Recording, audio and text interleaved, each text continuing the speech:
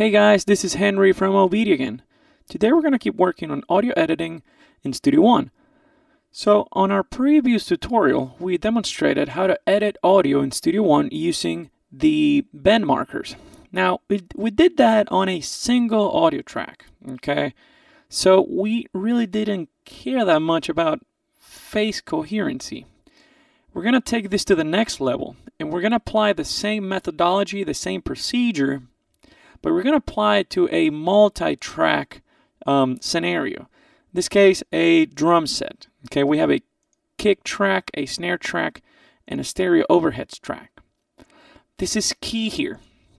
This is really important because we're, we're going to be demonstrating a method that'll let you edit, okay, and basically apply the same time stretching that we did before, but we're going to we're going to maintain, we're going to preserve the phase coherency between the tracks. Now, before we start this, you want to make sure that you have your uh, drum tracks grouped. In my case, I have a, a group called drums that I can uh, verify if I go here to mix. You can see my groups here. And you want to make sure that your group has the editing function um, enabled. Okay, so basically any editing you apply to any of the tracks will happen to every single one of them. Okay, so they've been grouped into a drums group right now. Okay, so um, I have a one bar, one measure uh, drum part that has basically contains uh, eighth notes. Okay, it's pretty much eighth notes, kick and snare, and um, I'm going to press play so that you listen um, how off this was from the actual grid. You can actually see it uh, visually. You can see how how far the transient, uh, how far they are from the actual grid. Okay. So let's just press play so we can listen.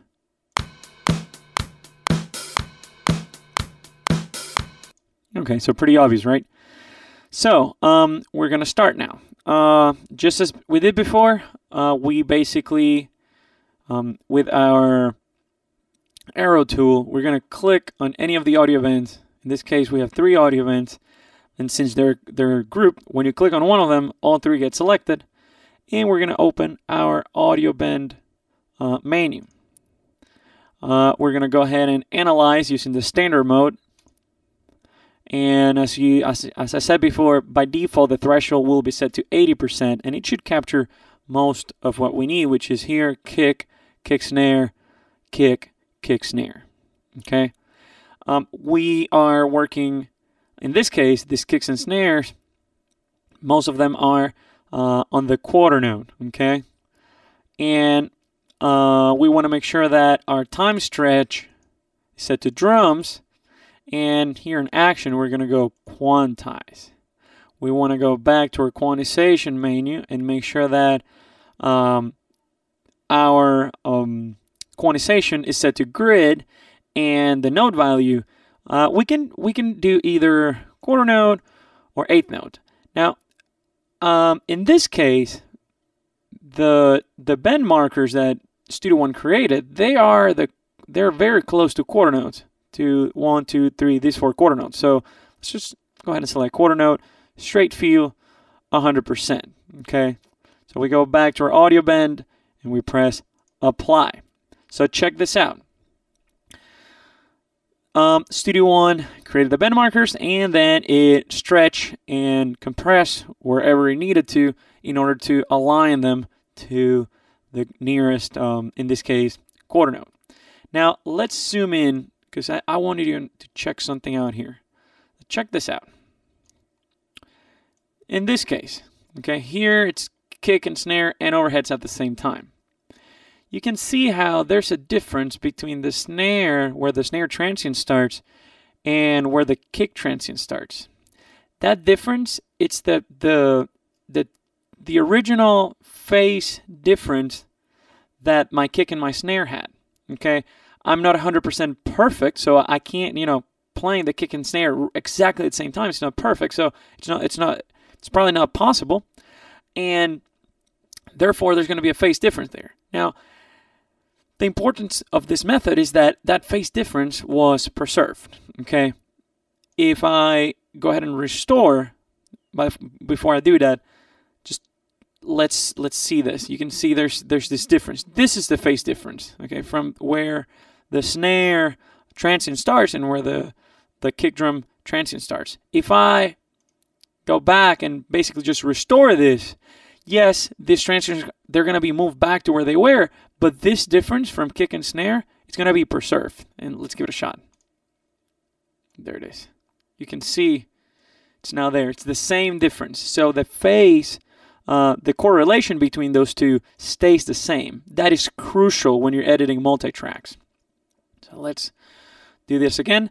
And one more thing, as you can see, this one, that's good, that's good, that one is good. Now the first one, this wasn't um, dragged that well to the to the grid mark. So we can do that manually just by selecting our bend tool and then just dragging it there. Okay. Now, a couple things. Um, and I'm gonna change my grid to eighth notes because uh, when you heard the sorry, that's eight triplet should be just eight notes there. When we listened to it was kick and snare and, and you know so on and so forth, but I would play the hi hat in between. So these this is a hi hat there. You can see actually if I zoom in on the waveform, you can see there's a hi hat there. There's another hi hat here, hi hat here. Those are eighth notes. So you might want to use your bend tool to create a bend marker there. Create it there, and then I'll drag it so it goes straight to that eighth note. And I'm going to do that also on this one. Create the bend, create the bend marker, and then drag it. And here's another one. Create the bend marker. And then drag it. There it is. And here's the last one. Um, snap off. Create the bend. Snap back on. And drag it. And at this point, um, all my down my um, you know all my kicks, snares, and hi hats they've all been aligned to the nearest grid mark. In this case, uh, they're pretty much eight notes. So if we press play, theory, it should sound pretty tight now. Let's see what happens.